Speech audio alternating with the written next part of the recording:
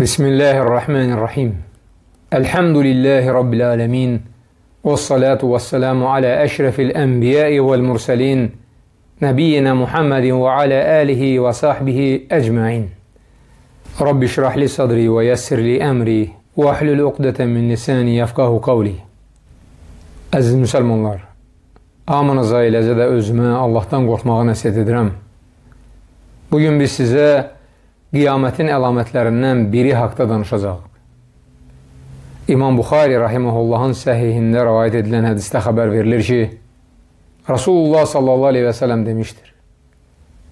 Elə bir zaman gələcək ki, o vaxt insanlar bir-birləri ilə müqavilələr bağlayacaq. Lakin heç kəs əmanəti qaytarmaq barəsində heç düşünməyəcəkdir. İş o yerə gəlib çatacaq ki, cəmaat filan yerdə etibarlı bir adam var deyəcəklər. Muhammed ibn Salih Əl-Ütheymin rahiməhullah bu hədisin şərhində deyir ki, yəni bir diyarda cəmi bir nəfər etibarlı adam tapılacaq. Qalanları isə xəyanətkar, əmanəti yiyəsinə qaytarmayan kimsələr olacaq. Hazırki dövrdə Rasulullah sallallahu aleyhi və səlləmdən rəvayət edilmiş bu hədisin doğruluğuna şahidsiniz. İnsanları bir-bir araşdırdıqda yüzlərlə insan arasından Allahın haqları və insanların haqları xüsusunda əmanəti lazımı qaydada ödəyən tək-tük adama rast gəlirsiniz. Hərçənd Allahın haqları xüsusunda etibarlı olan yəni namaz qılan, zəkat verən, oruz tutan, həcc edən, Allaha çox zikr edən, Allahı tərif deyən və s. ibadətləri yerinə yetirən insana rast gəlmək olur. Lakin həmin adamın dünyəvi işlərdə xain olduğunu görürsünüz. Bu adam əmanətə xəyanət etməklə haram yeyir. Haram yolla qazandığı o mal dövlət də onun duasının qəbul olunmasına əngəl olur. İmam Muslim rahiməhullahın rəvayət etdiyi hədisdə Peyğəmbər sallallahu aleyhi və səlləm belə demişdir. Allah pakdır və yalnız pak olanları qəbul edir. Həqiqətən Allah Peyğəmbərlərə nəyi əmr etmişdirsə, möminlərə də onu əmr edib buyurur. Ey Peyğəmbərlər, təmiz və halal nimətlərdən yeyin və yaxşı işlər görün. O həmsinin buyurur, ey iman gətirənlər, sizə ruzu kimi verdiyimiz təmiz və halal nimətlərdən yeyin. Sonra Peyğəmbər səlləm uzun müddətli səfərə çıxmış, saçları dağınıq, üst başı da toz torpaq içində olan və bu halda əllərini göyə qaldırıb Ya Rab, Ya Rab deyə yalvaran birisini xatırlatdı. Peyğəmbər sallallahu aleyhi ve sellem davam edib deyir. Halbuki bu adamın yediyi haram, içdiyi haram, geydiyi haram, haramla böyümüşdür. Beləsinin duası necə qəbul ola bilər? Burada Peyğəmbər sallallahu aleyhi və səlləm beləsinin duası necə qəbul ola bilər deyir. Yəni, Allah beləsinin duasını qəbul etməz. Bu adam saçları dağınıq, üst başı da toz torpaq içində, əllərini göyə qaldırıb, Ya Rab, Ya Rab deyə yalvarır. Lakin buna rəğmən Allah onun duasını qəbul etmir. Çünki o haram yeyir. Sonra şeyx rahiməhullah davam edir və mövzuya dair Qurandan iki ayə zikr edir.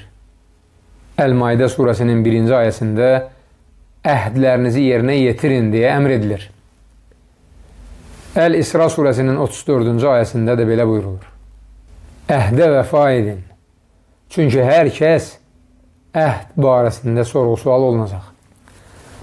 İbn Ütheymin rahiməhullahın sözü burada tamamlanır. Hüzeyf ibn-i Yəmən radiyallahu anh rəvayət etdiyi bu hədisin sonunda Hüzeyfə radiyallahu anh deyir Mən elə bir zamanda yaşamışam ki, həmin vaxt kiminlə ticarət edəcəyim məni narahat etməzdi. Bugün isə mən ancaq filan kəs və filan kəslə iş görürəm. Hədisin bu cümləsini izah edən böyük alimlərdən Şeyx Salih Əl-Fovzan Hafizahullah deyir ki, əgər sahabənin dövründə əmanəti qaytarmayan xainlər olubsa, indi bir düşünün, 15 əsr sonra insanların halı necə dəyişib? Bəli, əziz müsəlmanlar, bugünkü gün nəinki cahil insanlar, hətta dinini bilən, yəni əmanətə xəyanət etməyin haram olduğunu, bu əməlin münafiqlərə xas xislət olduğunu bilən adamlar belə əmanətə xəyanət edirlər. Dəfələrlə qardaşlar bizə bu məsələ ilə bağlı şikayət ediblər. Birisinin digərindən şərikli ticarət adı ilə küllü miqdarda pul aldığını, bir müddət sonra isə əmanəti qaytarmadığını, çox rahatlıqla öz şərikinin haqqını mənimsədiyini söyləyiblər. Məsələn, iki nəfər adama 10 min dollar pul qoyub, xeyrə və ziyana şərik olmaq şərti ilə şərikinə ticarət işi qurur və öz aralarında yazılı müqavilə bağlayırlar. Müqavilədə deyilir ki, bu müqavilə pozulduğu, yəni şəriklərdən biri bu ticarətdən çıxmaq istədiyi zaman ona həmin vaxt əldə olan ticarət malının yarısı və ya onun dəyərində pul çatmalıdır. Bu, onun şəriklik haqqıdır. Əgər o adam həyatda olmazsa, bu haqq onun ailəsinə çatmalıdır. Beləcə bu şəriklər uzun illər ticarət edir. Allah o ticarət malına bərəkət verir. O ticarət malının dəyəri yüz minlərlə olur. Nəhayət bir gün şəriklərdən biri şəriklikdən ayrılmaq qərarına gəldikdə və öz şərikindən müqaviləyə əsasən haqqını tələb etdikdə şəriki xəyanət edir. Və onun sadəcə ilk qoyduğu pulu, yəni şərikli ticarət qurduqları vaxt qoyduğu ana sərmayəni ona qaytarır. Yerdə qalan haqqını isə mənimsəyir. Dəfələrlə belə hadisələrin şahidi olmuşuq. Və hər dəfə bu məsələ ilə bağlı böyük alimlərə sual verdikdə eyni cavabı veriblər. Qarşı tərəfin böyük günah işlətdiyini və şərikinin haqqına girməklə haram yediyini bildiriblər. Odur ki, əziz müsəlmanlar, şərikli iş görmək istədikdə araşdırın, kiminlə şərikli iş quracağınıza diqqət edin hər yoldan keçənə inanmayın. Bu xüsusda Uca Allah Quranda belə buyurur. Innə kəthirən minəl xulatai ləyəbəği ba'duhum alə ba'd illəl-ləzīnə əmənu və amilus salihət və qalilun məhum. Həqiqətən şəriklərin çoxu bir-birinin haqqını tapdalayır. Yalnız iman gətirib yaxşı işlər görənlərdən başqa. Onlar isə çox azdırlar. Həqiqətən də bu ayədə və bir qədər əvvəl zikr etdiyimiz hədisdə deyildiyi kimi etibarlı insanlar çox azdır.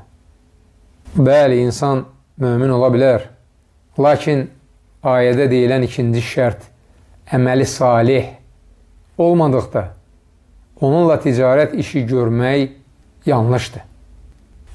Rəvayət edilir ki, bir gün bir nəfər Ömər ibn Xattab radiyallahu anhın yanına gəlib deyir, Ya əmir əl-müminin, bir nəfər mənim qızıma elçi düşüb.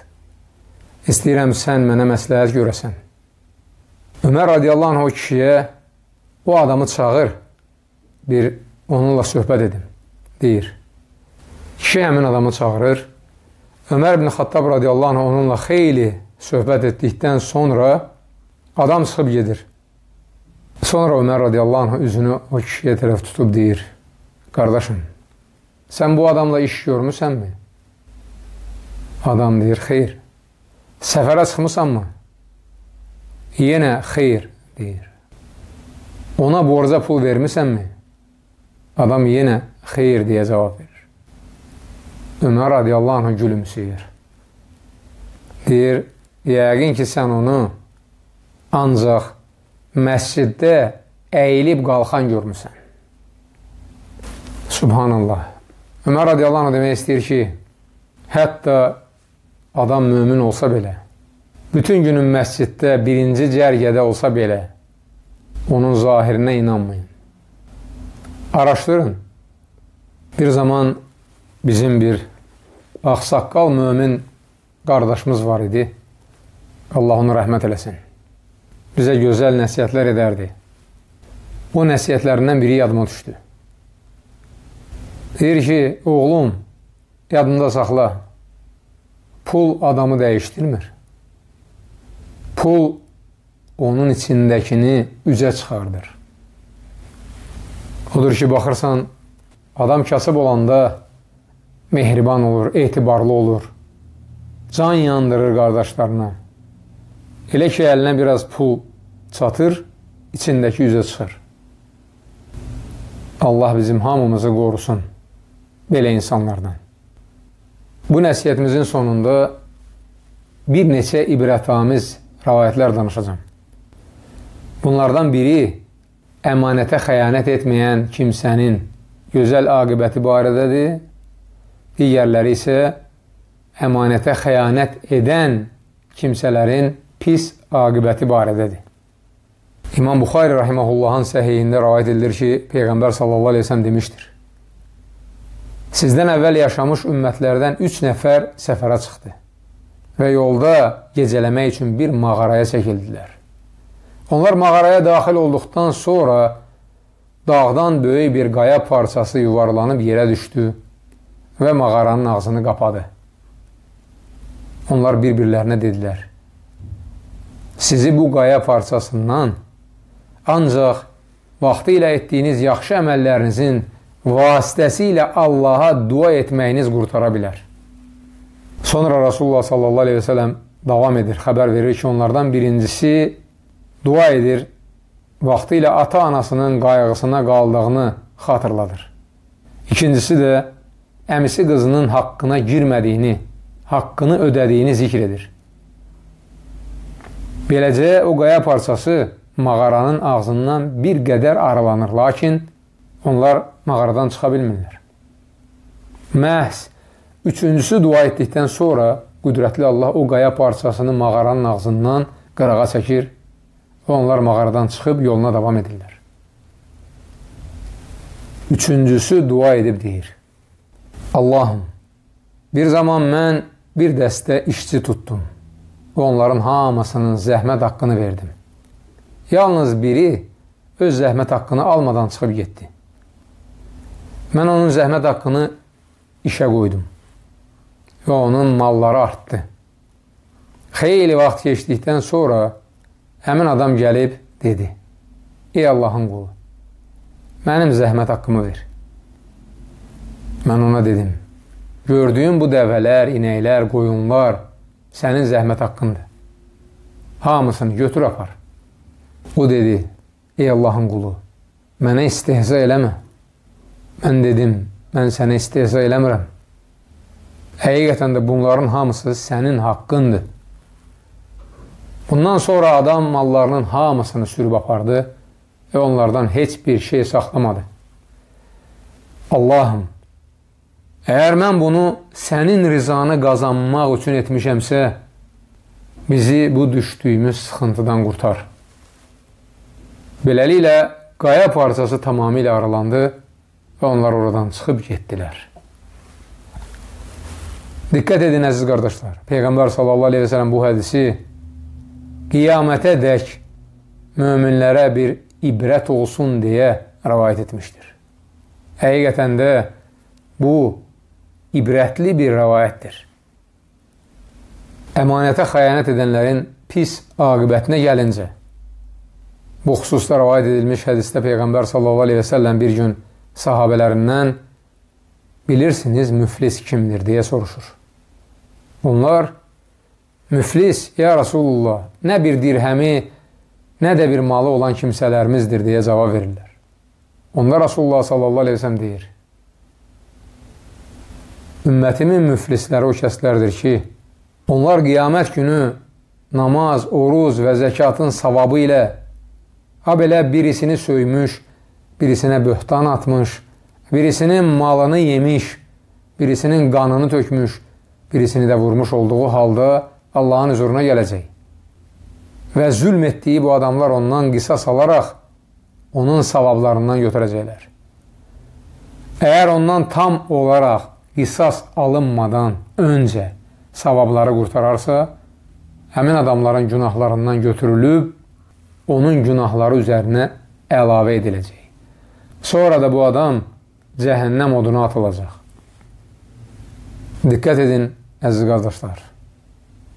Heç bir şey əvəzsiz qalmır. Bu dünyada kimsə kimisə aldada bilər, kimsə kiməsə kəf gələ bilər, kimsə kiminsə haqqını yeyə bilər, lakin qiyamət var. Qiyamət. Yenə İmam Buxari rahiməhullahın rəvayət etdiyi hədisdə xəbər verilir ki, Abu Hureyra radiyallahu anh demişdi. Bir gün Peyğəmbər sallallahu aleyhi və səlləm bizim aramızda ayağa qalxıb əmanətə xəyanət etmək barəsində danışdı. Bunun olduqca böyük günah olduğunu vurğuladı və dedi. Qiyamət günü heç biriniz boynunda mələyən bir qoyunla və ya kişnəyən bir atla gəlib deməsin ki, Ya Rasulullah, mənə yardım et.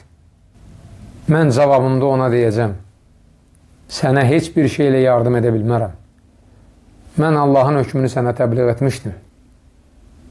Yaxud heç kəs boynunda nərildəyən bir dəvə ilə gəlib deməsin ki, Ya Rasulullah, mənə yardım et.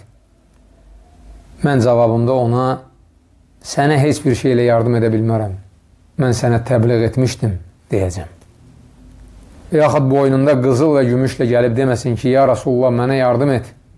Mən cavabımda ona, sənə heç bir şeylə yardım edə bilmərəm mən sənə təbliğ etmişdim deyəcəm. Yaxud da boynunda parıldayan bir paltarla gəlib deməsin ki, ya Rasulullah, mənə yardım et. Mən cavabımda ona, sənə heç bir şeylə yardım edə bilmərəm. Mən sənə təbliğ etmişdim deyəcəm. Diqqət edin, əziz qardaşlar. Peyğəmbər sallallahu aleyhi və sələm açıq aydın xəbər verir ki, bu dünyada insanların malını yiyən, onlara xəyanət edən, zalimlar qiyamət günü xəyanət etdiyi o mal ilə boynunda gələcək və yalvaracaq Peyğəmbər sallallahu aleyhi və sələmə ki, onlara şəfayətçilik etsin, lakin artıq gec olacaq. Sonda hamımız üçün Peyğəmbərimiz sallallahu aleyhi və sələmin bizə öyrətdiyi möhtəşəm dua ilə Allaha yalvarıb deyirəm.